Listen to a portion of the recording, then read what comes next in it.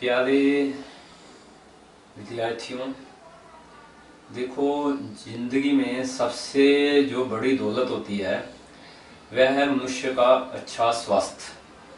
मतलब इंसान फिट रहना चाहिए हेल्थी रहना चाहिए, क्योंकि जो सेहत है ना, कहीं बाज़ार से नहीं मिलती है। आप बहुत सारी दुकानों में जाओ और एक प्रोडक्ट खरीदो कि भैया, हमें ना सेहत दे दो। कि उसके इतने पैसे ले लो। वो आपको खाने की चीज़ें दे देंगे, वो आपको पीने की चीज़ें दे देंगे, पर जो स्वस्थ है वो वो बाज़ार से बिकता नहीं है। उसको बनाना पड़ता है, ठीक है? जो स्वस्थ है ना, उसको बनाना पड़ता है, वो बाज़ार में बिकता नहीं है। तो स्वस्थ बनाना कितना आसान है, वो आज मैं आपको बता देता हूँ। देखो, जो स्वस्थ है ना, वो कुदरत के नियमों के अनुसार अपने ज़िंदगी को चलाने से बनता है। जो इंसान कुदरत के नियमों के अनुसार अपने जीवन को यापन करेगा, अपना जीवन चलाएगा, वो कभी ज़िंदगी में बीमार नहीं हो जाएगा। अब मैं एक मिसाल देता हूँ। जितने भी ये पक्षी और जीव जंतु हैं, जितने भी हैं, जानवर हैं, ये कुदरत के नियम के अनुसार ही रहते हैं। देखो, बहुत सिंपल सा है। जैसे ही सुबह होती है, सुबह होती है, आपने देखा कि या कुत्ता हो, बिल्ली हो, कौवा हो या हाथी हो या शेर हो, सुबह कोई सो रहा होता है बताओ? कोई बता दो, कोई नहीं सोता। अपने टाइम पे ही उनको पता लग जाता है कि देखो, परम पिता परमात्मा हमें कह रही हैं कि सुबह उठो जल्दी। तो सभी जल्दी उठते हैं। मुझे अच्छी तरह से याद है, मैं इस सर्दियों में बाहर निकला करता था तो इतनी ठंड, उसके बाद भी कुत्ते जाग रही हैं। चार बजे, पाँच बजे जागते हैं। ठीक है? तो जितने भी जानवर हैं, जितने भी नियम है, पहले कहते हैं जो आपका सुबह उठना है ना, वो पक्का होना चाहिए। पाँच बजे, चार बजे, छह बजे, ये नियम है। देखो, हम इंसान, परमात्मा ने हमें क्या दिया? बुद्धि दी है। परमात्मा ने क्या दिया हमें? बुद्धि दी है। हे मनुष्य, तू, देखो मैंने बता दिया है कि अगर तुमने ज़िंदगी में स्वस्थ रहना ना तो सुबह उठा कर अपने आप ही अपने मन से एक बात कहो कि हाँ अगर ये बजाज से जो स्वस्थ है ना, मिलता नहीं है, बहुत आसान है। पहला उसका नियम है कि सुबह छेती उठना है। ठीक है? ये एक बहुत अच्छा नियम है। परमात्मा कहता है, मेरे नियमों के अनुसार चलिए। ठीक है? दूसरी बात, जितने भी जीव जंतु हैं, वो कुदरत का भोजन खाते हैं।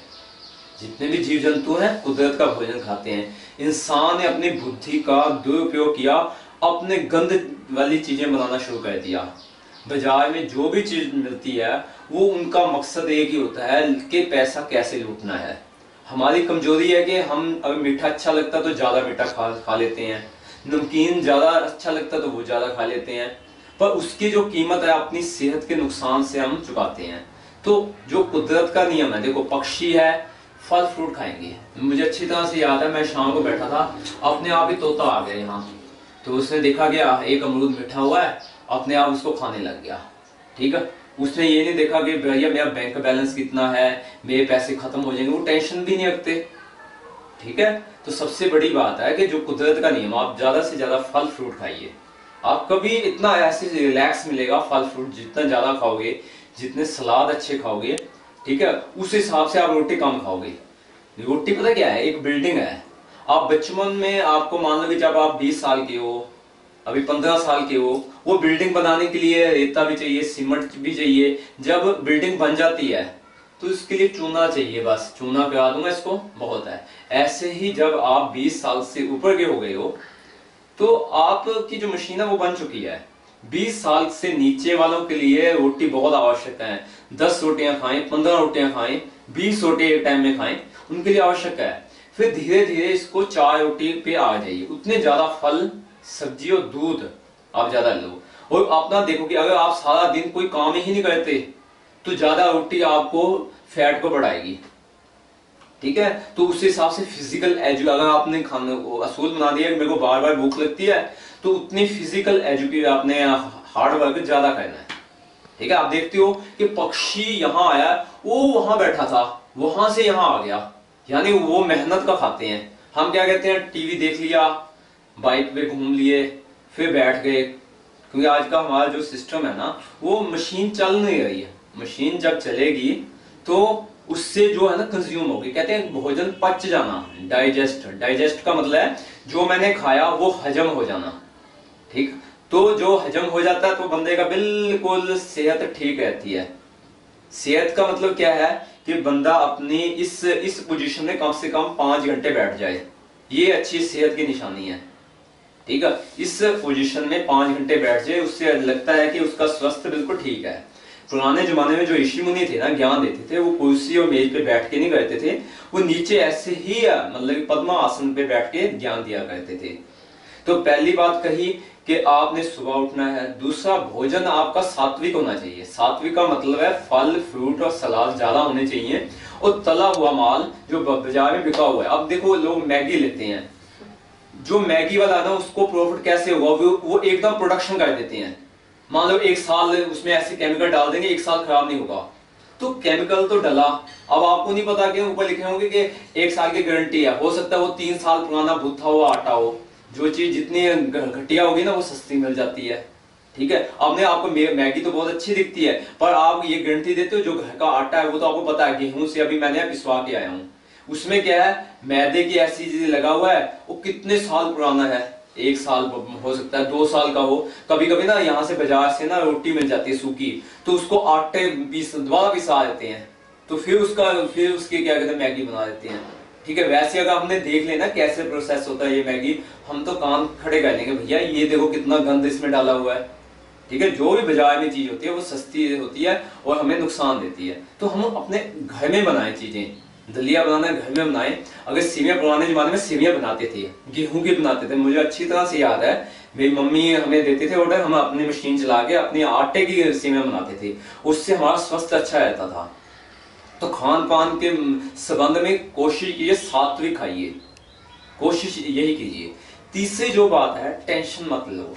ज़िंदगी में ना, बहुत सारी बीमारियाँ का निदान होता है टेंशन से। देखो, एक बहुत अच्छी सी मिसाल देता हूँ, बच्चा है। बच्चा खेल रहा है। खेल रहा है बच्चा? तो वो क्या है? बच्चा जब खेलता है ना, उसको भविष्य की टेंशन नहीं होती, ना पास्ट की होती है, वो वर्तमान में जीता है। इस समय जो हो रहा है इसी ज़िंदगी को इसी टाइम में आपने जीना है। अगर भविष्य की कल्पनाएँ बना लोगे तो कभी सुखी नहीं होगे। एक लेडीज़ थी वो क्या कर, करना उसके एक एक व्यक्ति के साथ शादी होनी थी तो जो बनने वाले पति से उसने सलाह की मेरे प्रिय पति देव बनने वाले मुझे आने वाले समय में कितनी रोटियाँ पकानी पड़ेंगी? उसने हिसाब लगाया कि हमारे घर में चार पाँच बंदे हैं कम से कम पचास रोटी एक दिन में पकेगी। और पचास रोटी एक दिन में तो मैं कितने साल जीऊँगी? कहता, मैं तो कहता हूँ सौ साल जी। तो मेरी घरवाली बनेगी तो सौ साल जी। सौ साल में कितनी रोटी पकेगी? उसने अंदाज़ा लगाया, कम से कम साठ, सत्तर लाख तो रोटी पकेगी।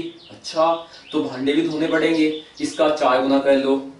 ठीक है तो मान लो कि और काम बोकर झाड़ू तो लगाना ही लगाना है सारे घर का। ये भी है। उसका काम इतना बढ़ गया, उसको ऐसे टेंशन हो गई, ऐसे सो गई।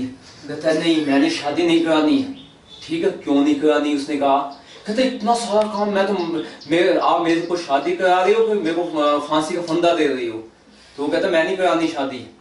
तो उस व्यक्ति ने उसको समझाया, प्रिय बंधु, मैं तुमसे शादी करना चाहता हूँ। ये काम भविष्य में होने वाला है, सौ सालों में होने वाला है। रोज एक काम होगा, खत्म होता जाएगा, खत्म होता जाएगा, टेंशन मत लो। बच्चा होता है ना, वो आज जीता है। खेल रहा है तो आज खेल रहा है। हम क्या भविष्य में खेलते हैं? जैसे वो लेडीज़ को टेंशन होगी ना, उसको पहले बुखार चढ़ गया, उसकी नसें कमज़ोर हो गई। तो जब भविष्य की टेंशन लोगे ना, ज़िंदगी में कभी सुखी नहीं होंगी। तो टेंशन को खत्म करने के लिए आता है योग और मेडिटेशन अब जब आपको टेंशन लगे तो परम, पिता परमात्मा का नाम आपने जाप करना है। ठीक है? जो है ना, ओम का जाप, ये रक्षा करने वाला, हर बीमारी से, हर तकलीफ़ से रक्षा करने वाला है। बहुत सिंपल सा है। अपने हाथ दोनों ऐसे कर लो और लंबा सांस लेकर बिल्कुल मध्यम आवाज़ में, बिल्कुल आवाज़ नहीं आनी चाहिए, लंबा चलना चाहिए, देखो।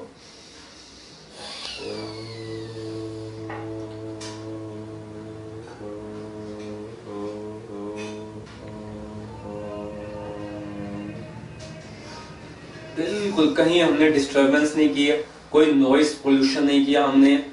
ठीक, हम बोले भी हैं, हमें याद है कि हम ओम का जाप कर रहे हैं।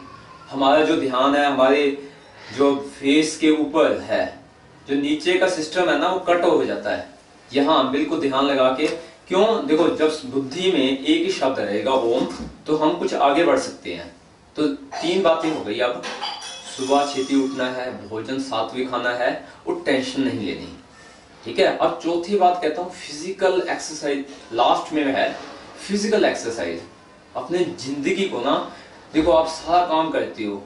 फ़िज़िकल का मतलब था खास जो नसें हैं ना, खास जगह पे है, उसको एक बार मूवमेंट करनी है उसकी। और यह लाइफ टाइम होना चाहिए। उसके लिए कोई भागना नहीं है, कुछ भी नहीं करना। शरीर के एक एक काम को हमने ना हिलाना है। एक बार हिला दोगे ना, कहते हैं ना, बैटरी अगर सुबह अच्छी लगा दो ना चार्ज हो जाती है। शरीर का भोजन सिर्फ़ जो मटेरियल भोजन है, वो नहीं है। ये एक्सरसाइज करते हैं ना, ये भी इसको चार्ज मिलता है।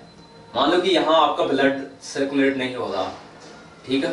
तो आपका ब्लड सर्कुलेट ना होने का यहाँ पेन शुरू हो जाएगा। अगर आप शुरू से ही एक्सरसाइज करते तो यहाँ पेन कभी होता ही नहीं। देखो, ये चीज़ है ना सर्वाइकल को रोकती है। अगर इसको एक बार दिन में दस बार भी कर लो ना, एक, दो, तीन चार, पाँच। ठीक है, ये देखो, यहाँ सर्वाइकल है, और इसको घुमा दो।